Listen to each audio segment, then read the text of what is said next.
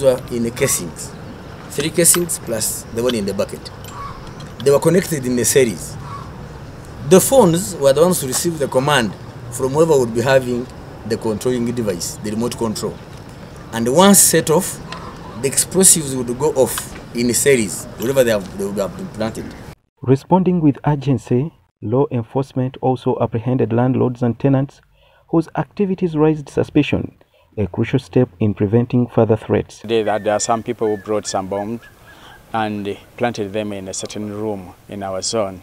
And when we were informed, we had to alert the people around, and then we moved them from their houses, put them in one place, and now we have taken them to the clinic a bit away from the place.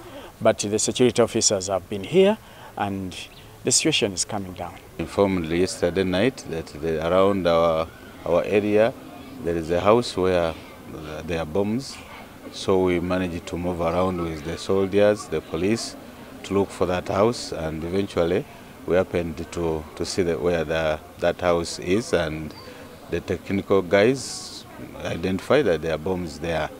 The incident prompted immediate measures to ensure public safety with authorities evacuating the area surrounding the rental property.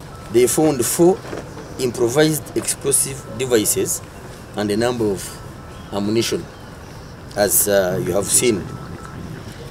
Regional intelligence and information gathered from those we arrested uh, already. They include Karanzi Augustine, arrested in Masaka, Sulaiman Nsubuga, arrested in Busia, Swale Abubakar, arrested in Zambia, reveals that the terrorists are commanded by a one, uh, he calls himself Punisher, alias Medi, alias. Action contributed to heightened tensions among local residents.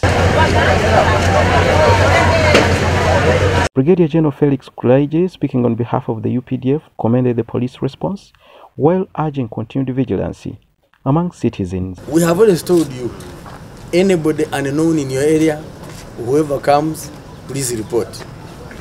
The case is here. People came looking for a house to rent, and somebody gave them a house once she received the money.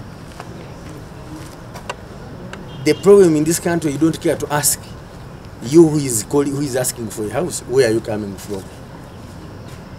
And so people saw individuals come with packages in Vera and what, and they entered this house. He emphasized the shared responsibility of maintaining security within communities, urging landlords to exercise diligence in screening potential tenants.